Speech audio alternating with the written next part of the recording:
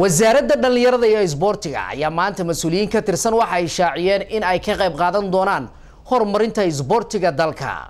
Wariyaheena cabdiraxmaan waaberi ayaa warbixintaasi dheereenaya wasiirka wasaaradda dhallinyarada iyo ciyaaraha xukuumadda soomaaliya khadiijo maxamed diiri ayaa maanta magaalada muqdisho waxay kulan kula qaadatay ciyaartoodii hore ee soomaaliyeed kuwaas oo muddo shaqgab ahaa islamarkaana aanay ka shaqeynin dowladda soomaaliya. Khadiijo maxamed diiri wasiirka wasaaradda dhallinyarada iyo ciyaaraha xukuumadda soomaaliya oo wareyn kulankaasi ka hadashay waxa ay sheegtay inay ku faraxsan tahay in kulan ay la qaadato ciyaartoodii hore ee soomaaliyeed si ay u soo bandhigaan xirfadaha kala duwan ay u baahan yihiin dhallinyarada soomaaliyeed waxaan rabaa ciyaartooy waxaan ogahay duruufo adag ku nool. Shaqooyin ad adagna qabta. Haddii la heli karo dowladdu waa weyn tahay. Wasaaradda dhalinyaro sportiga keliya maaha. Dadka magaca iyo sharafka iyo karaamada ku soo hooyay qaranka soomaaliyeed in la dayaco maaha fursadda ay adeegyada culculus ay hadda sharafkooda iyo kan qaranka soomaaliyeedba aan wax u dhimaayo. Haddii laga weecin karo diyaaran waxaan u ahay inaan horkaco oo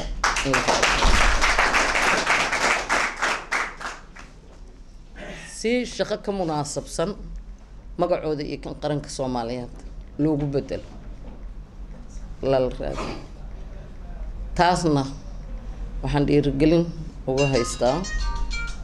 Ra'iisul wasaaraha xukuumadda madaxweynaha jamhuuriyadda guddoonka golaha shacabka oo aan ka tirsanahay labadaba. Xildhibaan golaha ka tirsanna waan. Waxaan rabnaa marka annaga oo isku meel ka duuleyna idinkoo is og fursadda midba midka kale sida noo loo kala nugul yahay inaan isu hormarino. Sidoo kale qaar ka mid ah ciyaartoodii hore ee ka qayb gashay kulanka igna halkaasi hadallo ka jeediyey ayaa waxa ay sheegeen inay ugu baahan yihiin wasaaradda dhallinyarada ciyaaraha xukuumadda soomaaliya in ay shaqooyin ay u abuurto. Ciyaartoodii hore ee soomaaliyeed islamarkaana ay u baahan yihiin xilligaani in tababaro kala duwan ay siiyaan dhallinyarada soomaaliyeed waxaa jirto ani nin cayaartooy heer qaran gaaray oo boodada sare ah ayaan ahaa oo cayaaraha fudud ka mid ahaa. Waxaa igu dhacday siyaad barasow u baxay ilaa hadda wax shaqo ohoon qabtay ma jirto gabdhihii waxaa waaye dadka cagaaran baabiyey gabdhihii waxaa waaye ciyaartooyda hadda qaranka matalaysa gabdhihii tababarayaasha waa soo saaran waaye.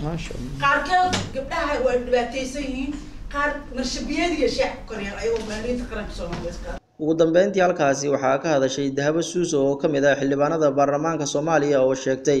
Waxaana leeyahay bahda isboortiga maanta iskugu timid ninka niga dhinta horta ilaah u naxariisto waa wada duugan wixii jiran cafad. Aniga waxaana dad isku xiran walaashay dalka iyo dibadda saamas kii una waa isku xirana kii dhinto kii jirin kan kale waa iscaabina waxaan jecelnahay garabkaada inaad nahay aan garabkaada inaad joogtitid waxaana leeyahay walaalhay soo dhawaada idinkana isboorti ee walaashay khadiija waa walaashiin waa wasiiradiina waa isboortigiina waa wasaaradiina. Waxaan jeclahay wasaaradda isboortiga iyo anta xiriirkana inay isku xirnaadaan.